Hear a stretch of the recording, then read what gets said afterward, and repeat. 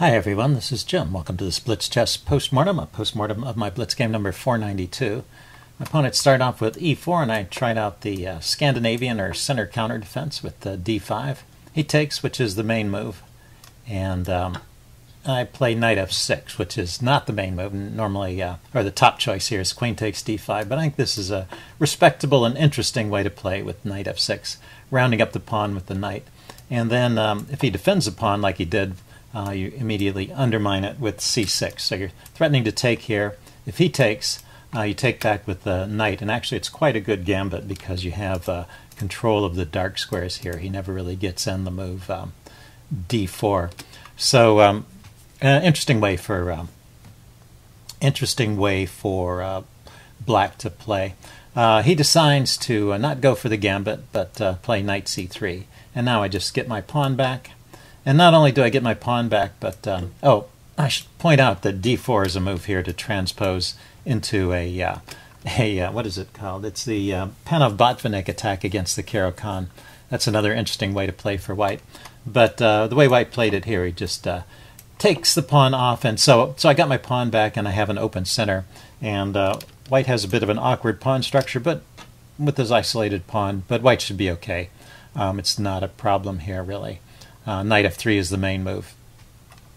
Um, so anyway, we're out of the opening book after this next move. My opponent plays bishop b5 check, an interesting move.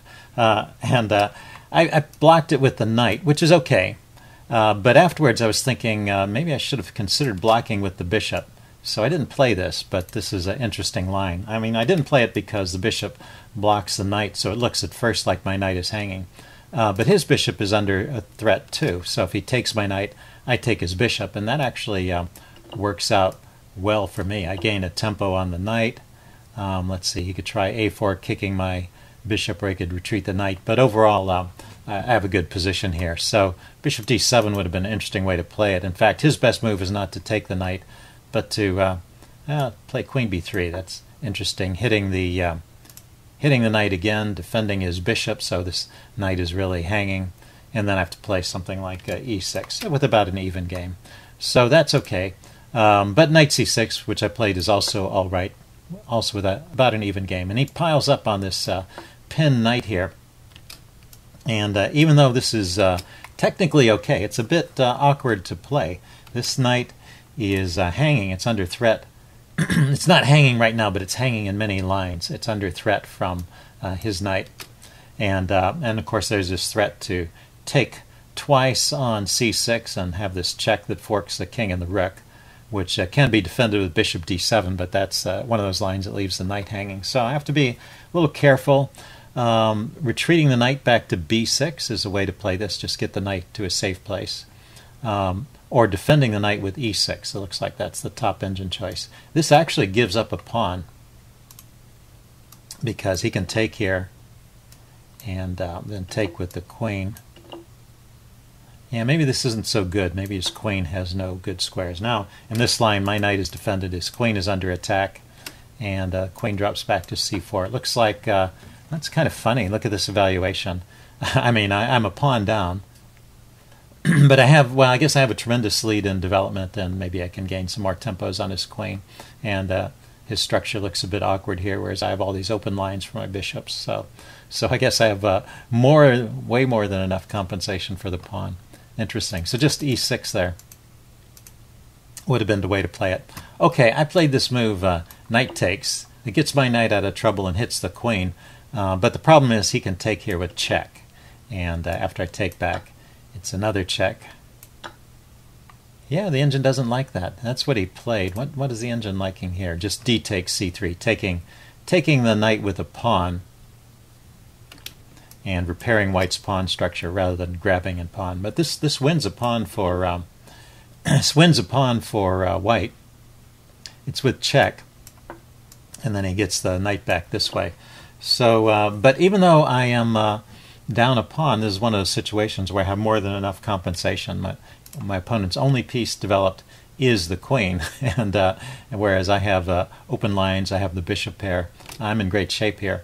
Uh, so being down a pawn is nothing to be afraid of. It's actually my next move. I mentioned that I blundered a pawn here. That's that wasn't it. This is this is the pawn blunder. I just played the move e5, and he can take it with check, and so it swings. So the that first loss of a pawn is fine, and I'm I'm actually in good shape here. But giving up a second pawn for for nothing at all is uh, is no good. so anyway, so he has the edge here, but somehow I managed to uh, stay in the game here and block the check plays, yeah, maybe because he doesn't play the most active moves here. These moves like h3 and not doing a whole lot here. See, already his advantage goes down. So it's uh, time for white to play actively. Uh, get the knight out, get the bishop out. You know, the d pawn should be coming forward. Is there a problem with playing d4 immediately? Suppose he played this move. Uh, bishop b4 check this bishop. Bishop b4 check. King f1. Why can't he block? Bishop b4 check. That is kind of curious. Bishop here. Bishop takes d2. King takes d2. Yeah, I guess it's a bit awkward. It displaces his king. Hmm. Okay, so pushing the d pawn right away isn't isn't the right idea, but developing the knight, getting the knight out and castling, and then maybe pushing that pawn and developing the bishop. That would be a way for white to play. Okay, this move h3 is not not doing a whole lot. and it's moves like this that allow me to uh, stay in the game. I go uh, queen to d7 here. Um, let's see. Yeah, I was defending the bishop and thinking of playing f6 to chase his queen away, which is kind of an annoying piece. The problem is his queen is looking at the uh, the g pawn here, and that keeps me from developing my uh, dark squared bishop. So um, so if I can get in the move f6, chase his queen away, then I'll be able to get this bishop out of the way and castle kingside. So I'm working towards that by defending the bishop with queen d7. He plays knight f3. I go f6, kicking the queen. Queen drops back to e4. And um, let's see, I went uh, rook d8 here. Not sure why I didn't just develop the bishop immediately. He castles. And now I go bishop c5. So I'm getting to the position I wanted, but I'm still down a pawn here, and uh, d4 is a good move. He prepares it with uh, rook d1, but actually that's, yeah, so it's this move here that uh, gives me some hope, I guess. Just the immediate d4 kicking the bishop back to, uh, to b6 would be good, it looks like. When he plays this move, um, this knight, I mean this rook on uh, d1 is actually not defended, so I, I can kind of ignore this uh, pawn to d4 threat. I castle, he plays d4, and now um, I have this pin on the pawn, so he can't actually take the bishop, so I can develop another piece. And now um, you see I have, uh, I'm still uh, two pawns down, right? Yeah, I'm still two pawns down, but now it's looking like I have uh, some compensation for them. Anyway, he drops his queen back to c2, kicking my bishop, and I drop back. And then he plays bishop to e3, defending his pawn structure. I go queen to d6. I'm just trying to line up for some kind of kingside attack here. Bishop to uh, bishop c7, queen d6, and uh, the mate on uh, h2. Why not? he played uh, a3 here, so that's that's another move that's not really to the point. Yeah, maybe he wants to play b4. Gain a little space, so maybe not too bad. I go bishop to d5. I want to stop his pawn from advancing and uh, be in a position to trade off this defensive knight. He goes uh, queen to e2 and I go bishop c7. So now I've got everything kind of lined up here. Still, um, you know, white has two pawns, and he should be able to defend this position, but it's interesting how much uh, white's advantage has dropped. Instead of being plus two, it's, it's just up a fraction. Um, he plays g3 here to stop the, uh, the mate threat. Let's see. So let's back up one move and see what he could have played here. King f1, rook e1,